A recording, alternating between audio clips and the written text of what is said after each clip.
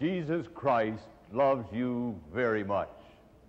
He knows all that you've done and all that you've been, and He offers forgiveness and the power to forget. Come, let us worship the Lord of new beginnings. My theme today is how to get up when you're down on yourself. And Jesus tells us how. Hear the word of God in the first 11 verses of the eighth chapter of John. Early in the morning, Jesus came and taught again in the temple. And the people came to him and sat down as he taught them. The scribes and the Pharisees brought a woman who had been caught in adultery. And placing her in the midst, they said to him, Teacher, this woman was caught in adultery. What do you say about that? Now, in the law of Moses, he commanded us to stone such. What do you say about that? This they said to test him, that they might have some charge to bring against him. Jesus bent down and wrote with his finger in the ground. And as they continued to ask him, he stood up and said to them, Let him who is without sin cast the first stone. And then he bent down again and wrote with his finger in the ground. And when they heard it, they went away one by one, beginning with the eldest. And Jesus was left alone with the woman standing before him. Jesus looked up at her and said, Woman, where are they? Has no one condemned you? And she said, No one, Lord. And Jesus said, Neither do I condemn you. Go and sin no more.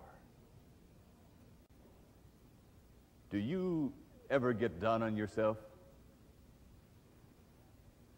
Do the mistakes and mishaps of the past ever cause you to be self condemnatory?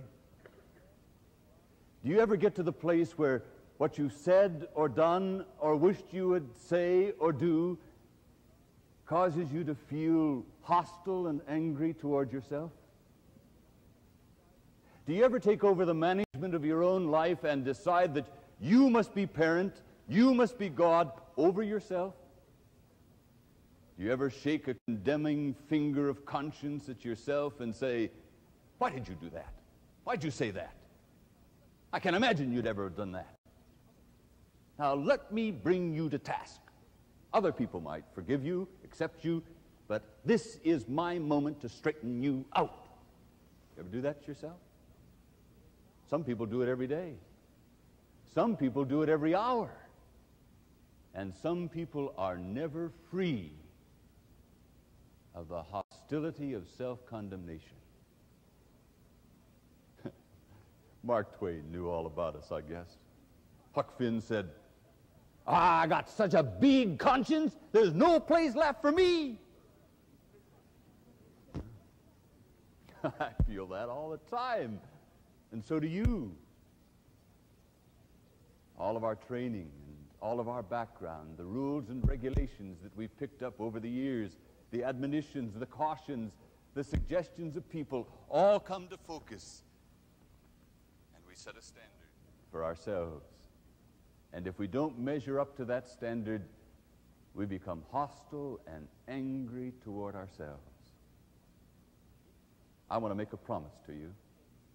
In this message, I want to tell you how to deal with self condemnation.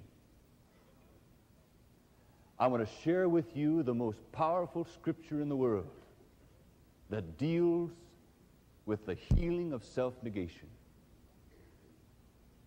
I want to share with you right now how you can begin a new life. Three things forgiveness, radical forgiveness, remedial forgetting, and a released freedom. And they're all available to you right now.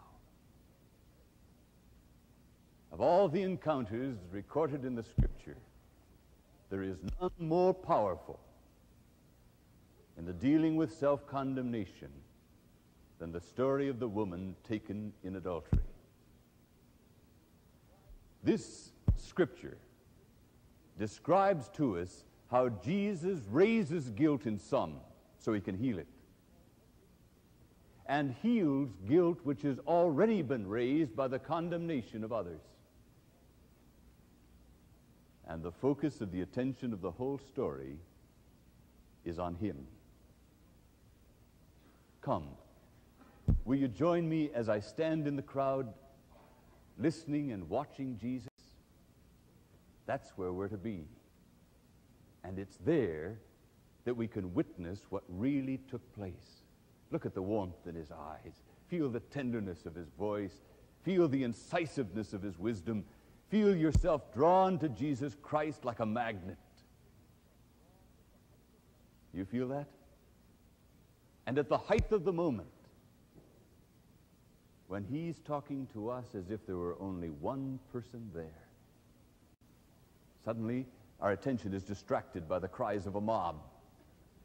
We look around and right into the precincts of the temple, a mob led by scribes and Pharisees is dragging a woman. We wonder why. What has she done to cause this kind of indignant treatment? They jostle her back and forth like a common thing off of the streets. What is it? And then they push the crowd away from around Jesus and throw the woman right down at his feet. We watch her. Her body writhes in sobs. She's broken and crumpled. What could she have done to have deserved this? Uh-huh. Look at the faces of those scribes and Pharisees. We can identify with them easily. Do you ever find that when you get down on yourself, you get down on other people? Uh, long before they ever caught that woman and dragged her in before Jesus, they were down on themselves. And Jesus had put his finger on the raw nerve inside of them. And now they wanted to impale him on the horns of a dilemma. They were very clever, really, the way they did it. Jesus, this woman was taken in the very act of adultery. Moses says that we should condemn such and stone them to death. What do you say? Well, he had several choices in front of him. One, he could say, Go ahead and stone her. He would certainly be supportive of the Leviticus text from Moses that suggested that stoning to death was the punishment for anyone taken in adultery. Look in the 20th chapter of Leviticus, it's there. But if he said that, he would have gone against Rome, because Rome had said with the Pax Romana that no Jewish court had the authority or the power to give capital punishment. If he suggested that they go ahead and stone her, it wouldn't be long before he would have been leading an insurrection and not be the leader of the redemption of the world.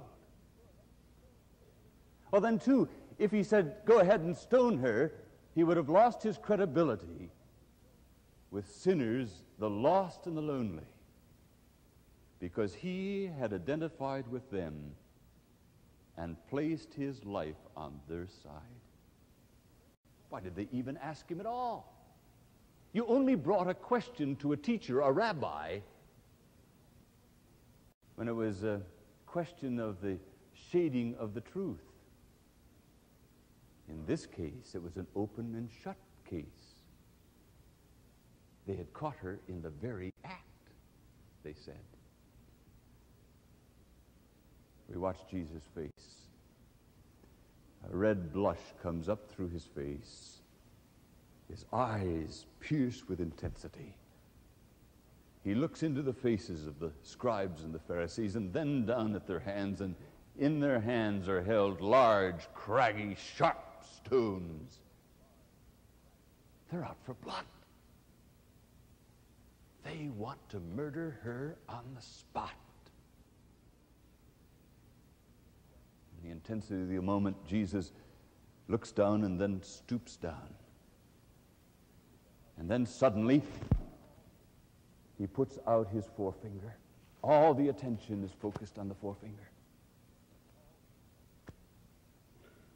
And then deliberately, he begins to write in the sand and the dust of the earth. We strain our necks from our vantage point trying to see what it is he's writing. We wonder could it be that he's listing out the Ten Commandments? Could it be that he knew the names of those scribes and Pharisees and listed out their own private sins? Could it be that he wrote the letters in Hebrew for Yahweh and looked up with dignity and power and said, I am? We wonder. They pressed him further. Give us an answer. We want to settle this thing right now, quickly. And Jesus stood up and said some of the most incisive words that are found any place in Scripture. All right. All right. The one who has no sin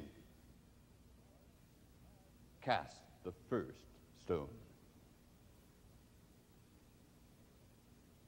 Then he bent down and began writing again. We watched the faces particularly the older scribes and Pharisees, the judgment lines are plowed into the furrowed brows, set of their jaw, years of judging people. As a result of their own self condemnation is written upon their faces. But as Jesus writes, we watch. There's a softening of the chin of one, tenderness that begins to grow in the eye of another a slump of a shoulder in still another. What is he writing? What is Jesus writing?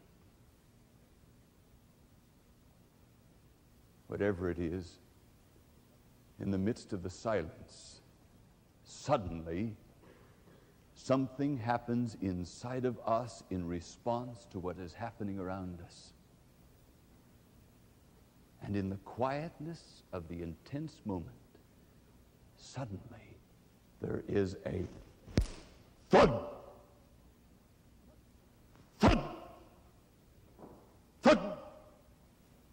Thud. Thud. Thud. thud. And with each stone as it drops, the woman at Jesus' feet cringes And then they turn away, one after the other.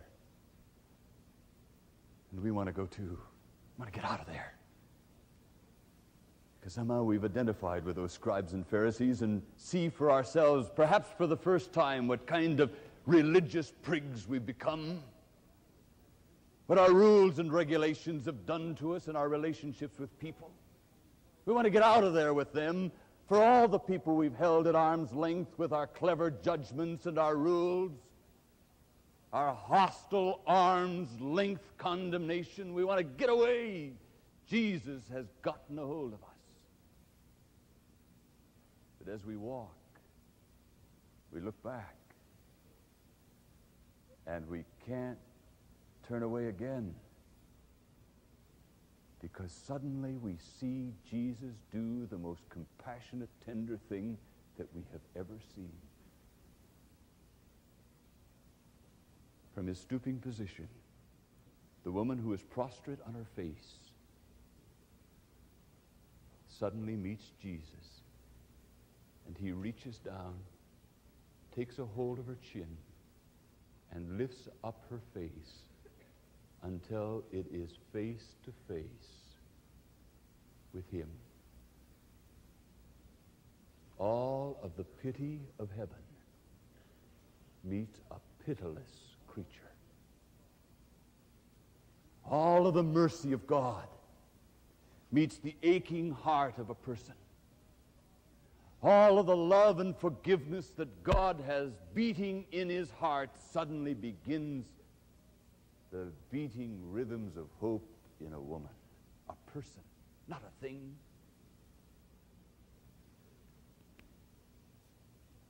And then Jesus says to her, Where are they?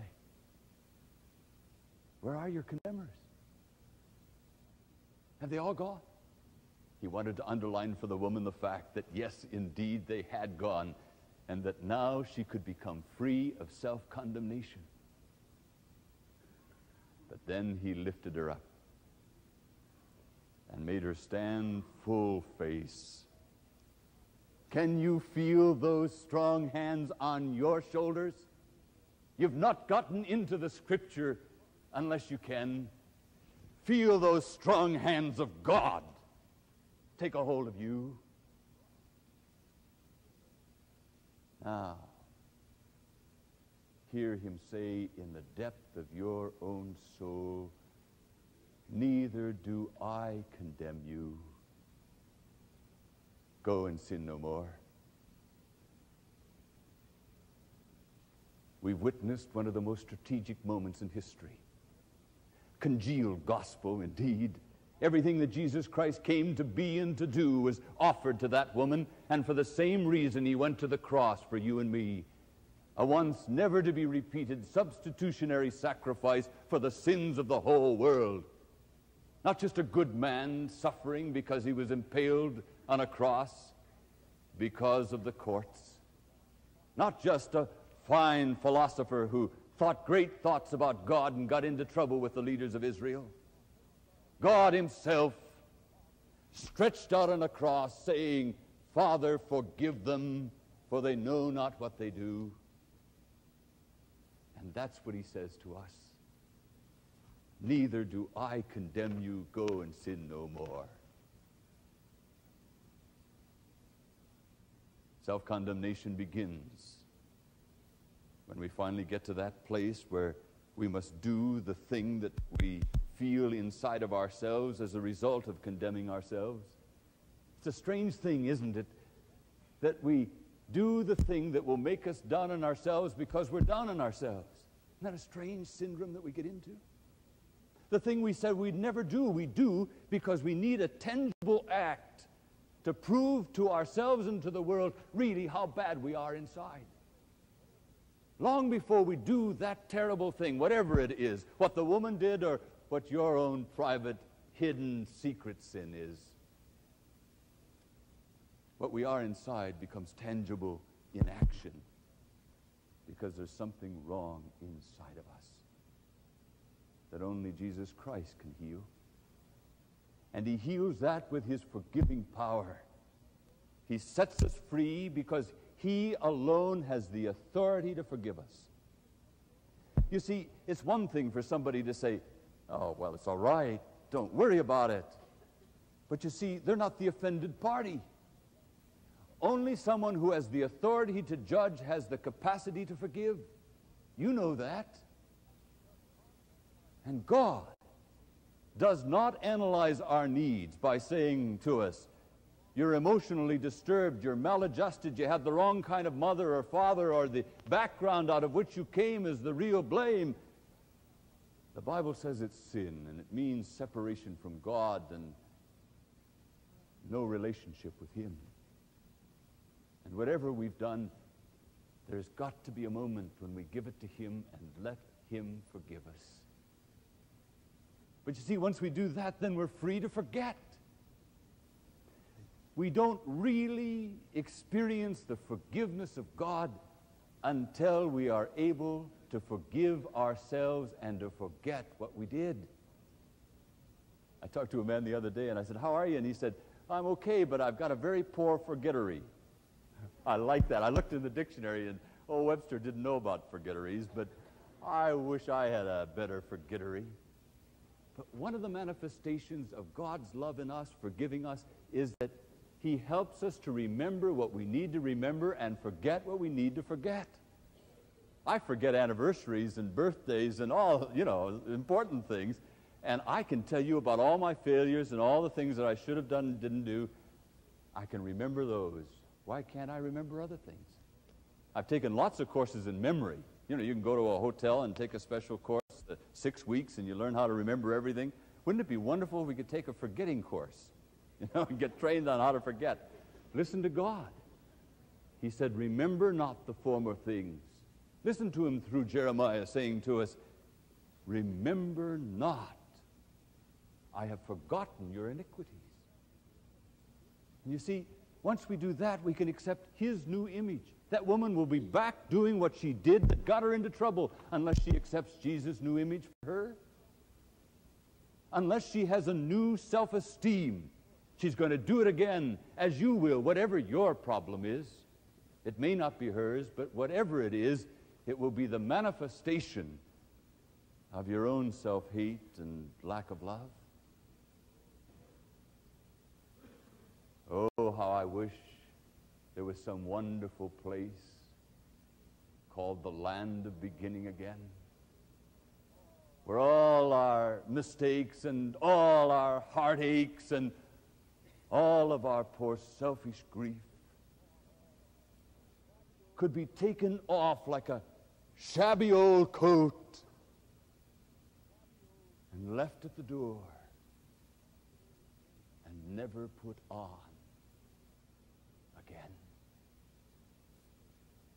That's what Jesus offers to each of us right now. He stands at the door of the land of beginning again. Only He has the authority to forgive the past. And we can say with Paul, we are new creatures in Christ. The old has passed away. Behold, the new is come. And all of this is from God. For God was in Christ reconciling the world and you and me to Himself. And it can happen right now. You don't need to be down on yourself anymore. A young man walked through a little town. It's just kind of a wide place in the road and gas station and an old hotel, and there was an old codger sitting on a, on a bench, kind of leaning back, uh, chewing his cud. And uh, the young man said, Hey, why is this town famous? And the old man kind of stroked his jaw and said, Let me tell you, from this place, you can go anywhere. Isn't that great? And that's what Jesus offers us. He says, from this moment, you can go anywhere.